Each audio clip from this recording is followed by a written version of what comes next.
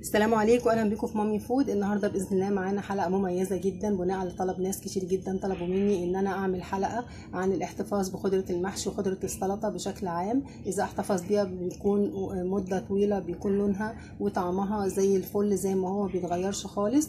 هنقول مع بعض طريقتين أحلى من بعض. معايا طريقة إزاي أحتفظ بيها في رف التلاجة.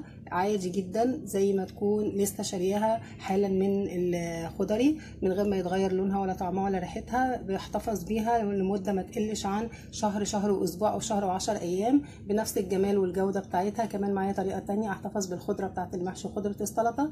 من السنة للسنة بإذن الله آه هنشوف مع بعض الطريقتين اللي أحلى من بعض وكل واحد حابب طريقة يتفضل يستخدمها. بس يا ريت اللي يشوف الفيديو بتاعه يعجبه ما ينساش يعمل لي like ويعمل كمان share. ولو ما كانش مشترك في القناة يا ريت يعمل subscribe وينورني في القناة ويضغط على زر الجرس للكل علشان يفعلوا يوصلوا كل فيديوهاتنا أول بأول. يلا بينا مع بعض نشوف الطريقتين التحفة اللي بإذن الله هيعجبوكم جدا جدا جدا. يلا بينا. بسم الله الرحمن الرحيم. إحنا طبعا عارفين إن الشتاء كله خير وكله خضرة جميلة وخضروات تحفة وجميلة جدا تشكيلة كبيرة جدا جدا من الخضروات بتبقى موجودة في في الشتاء أكتر من الصيف.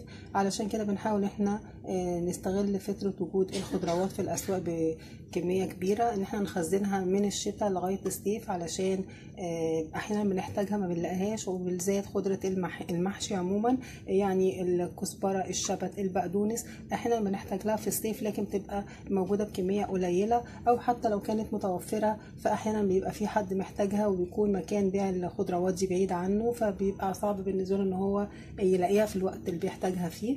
فالنهاردة إن شاء الله هنعمل مع بعض حفظ الخضروات أو الخضرة بتاعه المحشي بصفة خاصة علشان تبقى موجودة تحت إيدينا في أي وقت نسحب منها من التلاجة على طول ونستخدمها.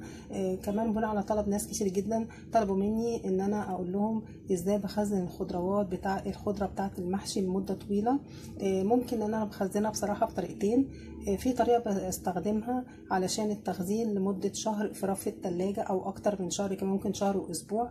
بتكون موجودة في رف التلاجة خضرة زي ما هي جميلة جدا بدون تجميد ولا أي حاجة. خالص ولا بيتغير لونها ولا بيتغير طعمها ولا مذاقها ولا حاجة خالص خالص. وفي طريقة تانية بخزن بيها الخضرة بتاعتي من السنة للسنه يعني دي بتختلف عن دي هنستعرض مع بعض إن شاء الله الطريقتين ونشوف كل واحد اللي بالنسبة له أفضل وأسهل يستخدمها.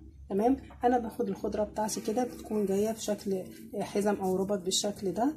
بحاول إن أنا أول حاجة بعملها لو أنا هخزنها لمدة شهر في رف التلاجة فبشيل الرباط بتاعها ده وبحاول إن أنا أنضف الخضرة بتاعتي. لو فيها حاجة صفرة كده بحاول إن أنا أشيلها. تمام؟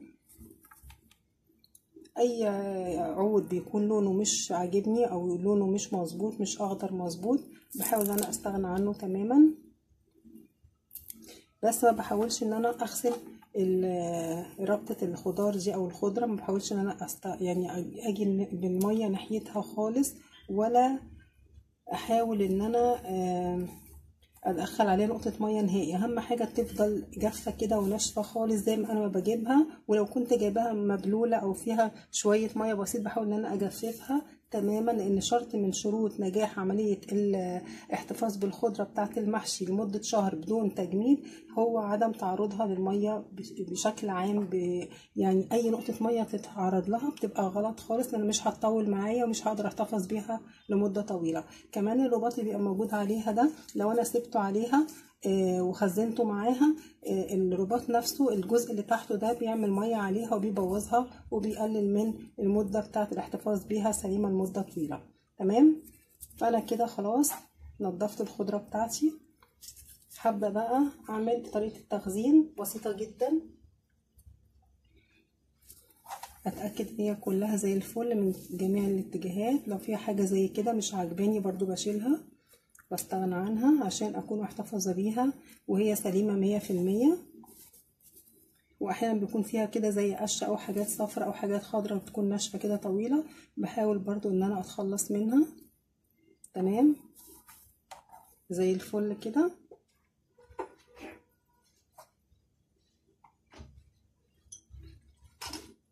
هبدأ بقى أخد أي برطمان موجود عندي. بيكون نضيف وجف تماما كده. يضيفوا جف ما فيهوش اي حاجة وابدا اخد الخضرة بتاعتي دي واجمعها كلها. وهبدأ انزل بيها جوه البرطمان برضو البرطمان يكون جف تماما ونضيفه زي الفل ما فيهوش نقطة مية خالص.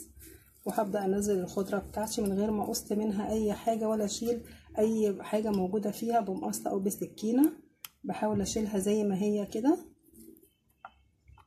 وبعد كده بغطي عليها بالغطا بتاع البرطمان بالمنظر ده. وبتبقى موجودة عندي بالمنظر ده بشيلها في رف التلاجة وبحتفظ بيها في رف التلاجة لمدة من 3 أسابيع لشهر وأسبوع بتبقى زي الفل. وهنشوف مع بعض بعينينا النتيجة المبهرة بتاعة استخدام أو بتاعة حفظ الخضرة بتاعة المحشي لمدة من 3 أسابيع لشهر وأسبوع في رف التلاجة بدون ما أستخدم أي نقطة مية عليها ولا أغسلها ولا أنقعها ولا حاجة خالص. بتبقى في منتهى الجمال وزي الفل. هنشوف دلوقتي بعينينا النتيجة المبهرة. اللي كلنا هنتأكد بصحة اللي أنا بقوله دلوقتي واحدة واحدة كده مع بعض. ودلوقتي أنا خرجت البرطمان ده من التلاجة من رف التلاجة. لو ناخد بالنا مشبر كده معايا أهو معرق كده من البرودة بتاعة التلاجة. البرطمان ده أنا محتفظة بيه بقاله شهر وثلاث أيام بالظبط. أنا محتفظة في البرطمان ده من جوه حاطة فيه خضرة المحشي. اللي عبارة عن كزبرة خضراء وشبت. تمام؟ بنفس الطريقة اللي قلت لحضراتكم عليها هنا بدون ما يتغسلوا نهائي ولا أحط عليهم نقطة مية خالص. وكمان ما بحاولش إن أنا آخد العروق بتاعة الخضرة بتاعتي يعني أمشي عليها بسكينة أو بمقص أو أزيل منها أي حاجة. بالعكس طول ما هي موجودة بحالتها زي ما أنا ما اشتريتها العروق كاملة ده بيغذي العرق وما بيخليهوش يبوظ معايا خالص.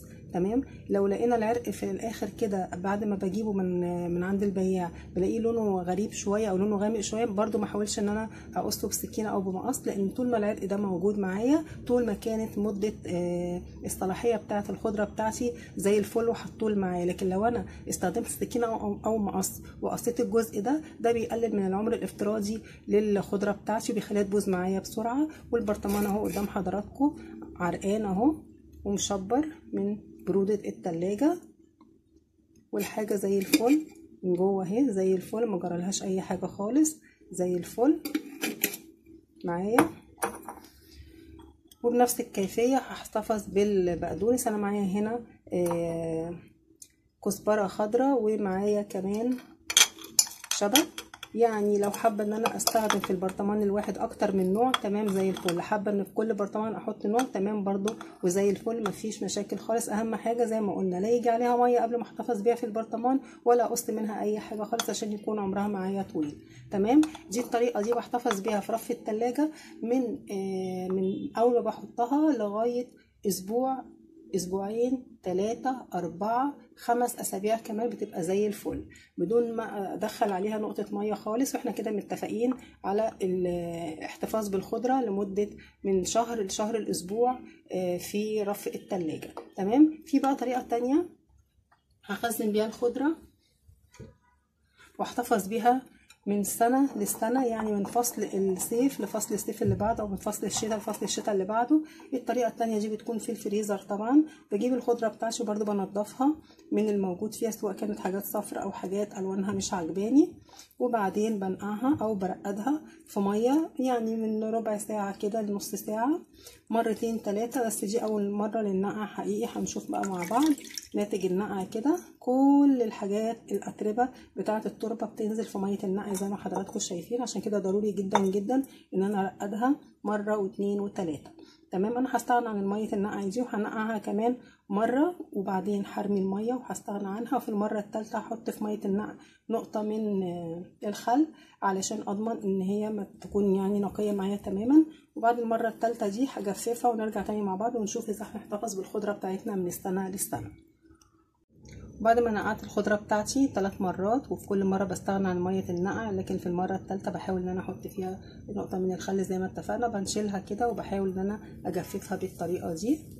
عشان أضمن هي جفت معايا تماما. على فكرة لو أنا الخضرة بتاعتي كانت فيها أتربة واضحة جدا وأنا بشتريها وشايفاها إن هي مش مش نظيفة يعني بحاول إن أنا قبل ما أنقعها بحاول إن أنا أغسلها تحت مية جارية من الحنفية لغاية اما أتأكد إن هي كل الأتربة اللي كانت موجودة عليها وباينة وواضحة نزلت تماما. ببدأ بعد كده أنقعها أو أرقدها في مية ثلاث مرات زي ما قلنا والمرة الثالثه فيها نقطة الخل. بعد كده هبدأ إن أنا أقطع الخضرة بتاعتي نرجع تاني مع بعض. وهبدأ أقطع الخضرة بتاعتي. على فكرة طريقة الحفظ دي بتسري نفسها بالظبط بكل حذافيرها مع الكرفس ومع البقدونس الشبت الكزبرة. مش بس نوع واحد بستخدمها في جميع أنواع الخضرة واحتفظ بيها من السنة للسنة بنفس الكيفية اللي حضراتكم بتتابعوها معايا واحدة واحدة. تمام أنا قطعت الخضرة بتاعتي كده خلاص عايزة أحط بقدونس وشبت مع بعض تمام. عايزة أحط بقدونس وشبت وكزبرة تمام. عايزة أحط كل نوع لوحده تمام. زي الفل. هنشوف مع بعض بإذن الله. كل حاجة عملي مع بعض. أنا كده قطعت الخضرة خلاص. هبدأ بقى. بسم الله الرحمن في كيس من أكياس التلاجة. نضيفها زي الفل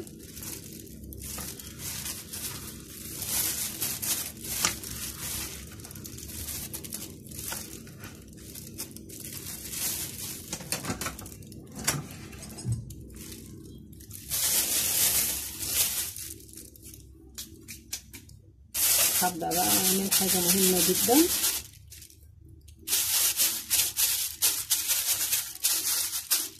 أفردها كده جوه كيس التلاجة. تمام. وباخد قلم كده باركر عندي وبكون مجهزاه علشان أكتب نوع الخضرة اللي أنا بحتفظ بيها دي إيه. بقدونس. بكتب إن دي بقدونس. بسم الله الرحمن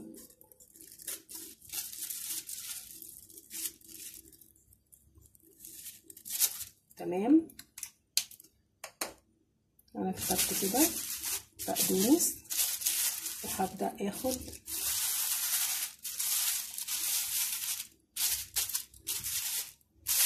واضح قدام حضراتكم كل الخطوات.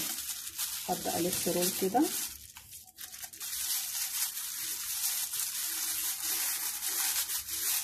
ليه بقى أنا لفيت roll كده؟ هنشوف مع بعض حالا.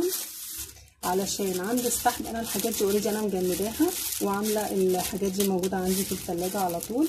معايا هنا كرفس لما باجي بفتح بلاقي الاسم مكتوب قدامي كرفس فبعرف إن أنا اللي هسحب منه ده كرفس وهكذا. بفتح أول ما بوصل للخضره بتاعتي ببدأ آخد اللي يناسبني وأروح كسراها كده ومدخلة إيدي جوه الكيس وأسحب اللي أنا عاوزاه وأكمل لف تاني.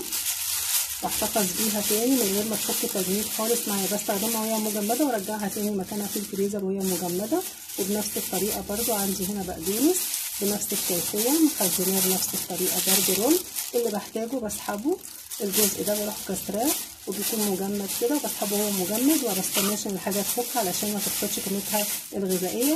أتمنى أكون وضحت كل حاجة في الفيديو. يا رب يكون كل حاجة وصلت حضراتكم. نخزن الحاجات الجميلة دي لأن حقيقي. الحاجات دي بتبقى كنز موجود جوه البيت من غير ما نحس خالص. لما بنحب إن إحنا نستخدم الحاجات دي بنلاقيها تحت إيدينا في أي وقت. أتمنى يكون الفيديو بتاعي عجبكم. أسيبكم في رعاية الله. والسلام عليكم ورحمة الله. وبكده أكون وضحت طريقتين مهمين جدا جدا للاحتفاظ بالخضرة. طريقة أحتفظ بيها في رف الثلاجه لمدة ما تقلش عن شهر بل بالعكس ممكن تزيد أكتر من شهر شهر وعشر أيام أو شهر وأسبوع في رف الثلاجه عادي جدا. ممكن أستخدم الطريقة دي أحتفظ بيها أحتفظ بالخضرة بتاعتي علشان أستخدمها مش بس للمحاشي لأ كمان للسلطة. في أي وقت أحب آخد أي نوع يكون تحت إيدي على السريع كده أستخدمه بسرعة. كمان معايا طريقة تانية اللي إحنا قلناها مع بعض علشان أحتفظ بيها لأكبر مدة ممكنة من السنة للسنه أو من الفصل للفصل. أسيبكم في رعاية الله والسلام عليكم ورحمة الله.